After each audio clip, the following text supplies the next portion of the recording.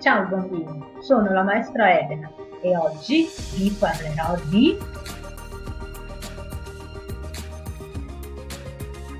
dell'Homo erectus, una nuova specie di ominidi vissuta circa un milione e mezzo di anni fa.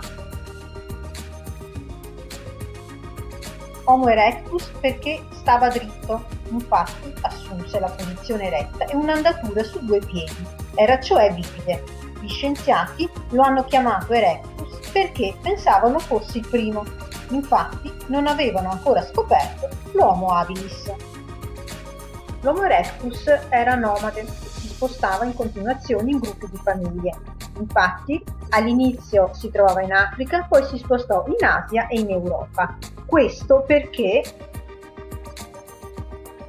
perché in Africa il clima era sempre più secco, quindi l'ambiente si inaridì, le piante cominciarono a seccare, non c'era più cibo, di conseguenza anche gli animali si spostarono e così anche l'Homo erectus si spostò per seguire gli animali.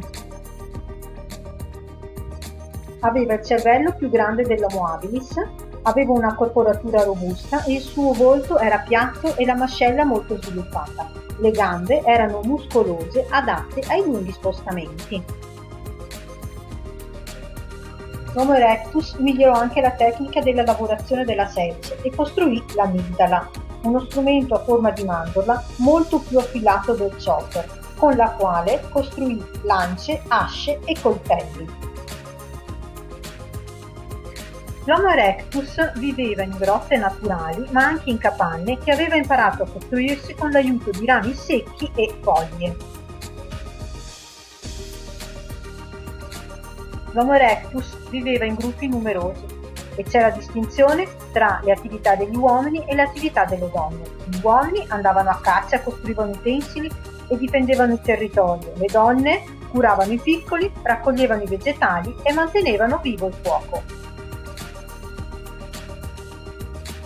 L'Homo erectus fece una scoperta molto importante, il fuoco. Grazie al fuoco capì che poteva riscaldare, riunire la famiglia, tenere lontani i predatori, cucinare la carne degli animali che cacciavano e illuminare la notte.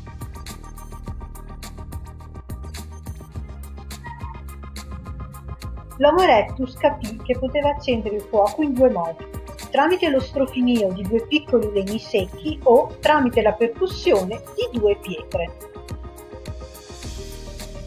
Ciao bambini, con questo finito, ci vediamo alla prossima lezione